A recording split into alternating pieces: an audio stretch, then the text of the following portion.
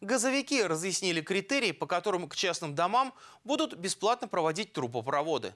Напомним, что в своем послании Федеральному собранию президент Владимир Путин поручил до 2023 года газифицировать населенные пункты страны без привлечения средств населения. То есть за свой счет газовый монополист обязан будет проложить сети по территории поселков и деревень, сделать отводы, после чего благоустроить территорию. Дальнейшие работы, вплоть до своих домов, собственникам все же придется оплатить.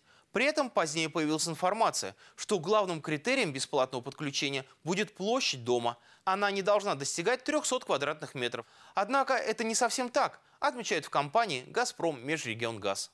Это до 200 метров до трубы газовой, которая есть в населенном пункте, и с потреблением газа до 7 кубических метров газа в час. Э, Для всех можно сказать, что это газоснабжение дома площадью до 300 квадратных метров приблизительно.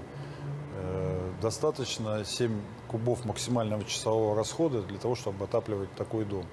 Это очень большая категория, и президент отдельно ее выделил.